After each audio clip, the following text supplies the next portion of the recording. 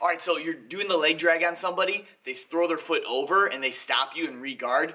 I'm gonna help you with that. Stay tuned.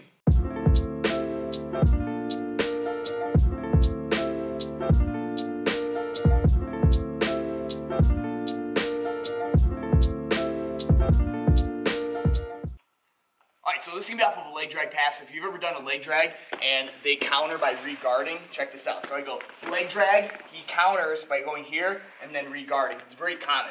Let's go at this angle. So here's my counter. I'm gonna go leg drag. As soon as he steps over, wax off. Come over and guard pass. So we'll hit it again. Leg drag, wax off. Here's my guard pass.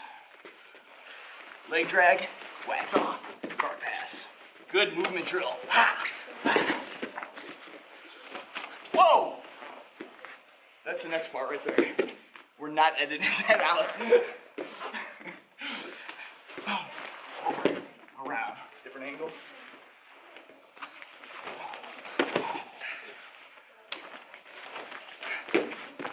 All right, super simple, doesn't need a lot of explanation. You guys can see the movement. You just expect it. When you do that leg drag, most of the time, as soon as their leg gets dragged, the other foot's gonna come over. They'll try to re-guard. Just capture it. Don't even capture it. Just get it out of the way. Do your wax off. All right, guys. Hit subscribe, give me some feedback, and keep moving forward.